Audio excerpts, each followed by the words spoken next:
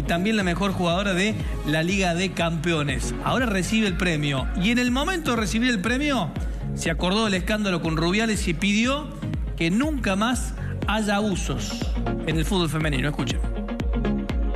Momentos muy, muy buenos ahora en el fútbol español. Venimos de, de ganar el Mundial, pero mmm, no se está hablando mucho de, de ello porque han pasado cosas eh, que no me gustaría dejar pasar. Y me gustaría recordar un poco lo que, lo que ha pasado. Eh, creo que como sociedad no debemos permitir eh, que, que, se haya, que se haga abuso de poder en una relación laboral, así como también faltas de respeto. Así que me gustaría que desde mi compañera Jenny, a todas las mujeres que sufren lo mismo, estamos con vosotras.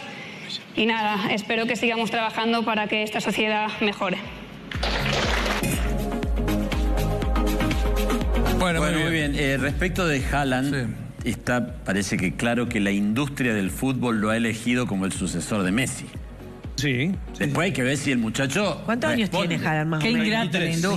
23. ¿Eh? Qué ingrata Ah. la industria. Más de 10 meses. Y bueno, siempre hay uno. Sí, siempre tiene que haber uno. Sí. Ne- necesitan, porque con Mbappé habían jugado, pero eh, Mbappé es un muchacho más tímido, que no parece tener el mismo carisma que este grandotón que tiene que tiene onda con los medios, que tiene onda con la gente, que pega, que tiene algunas actitudes de divo que funcionan.